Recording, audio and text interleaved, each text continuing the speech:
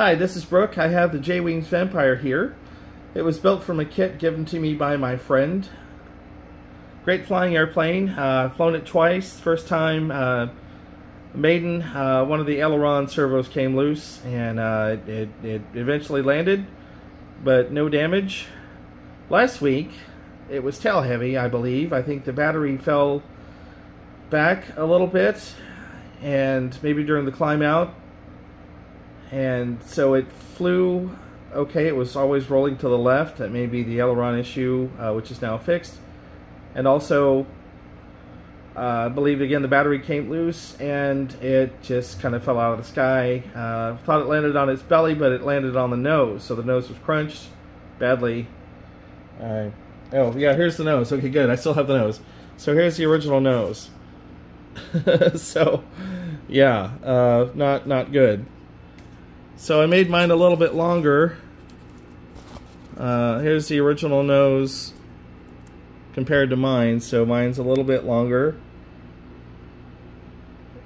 Uh, we'll see how it goes. So I made my nose removable. My friend that I flew with said that might be a good idea.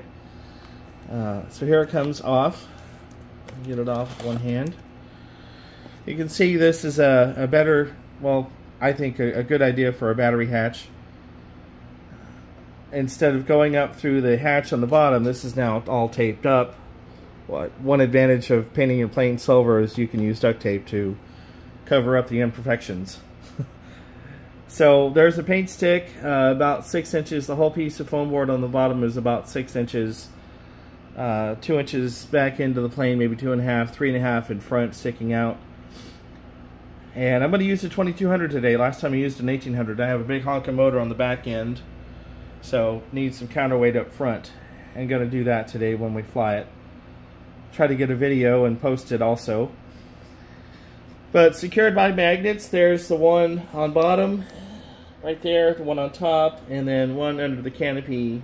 See it there, and then the corresponding magnets are here, here, and here.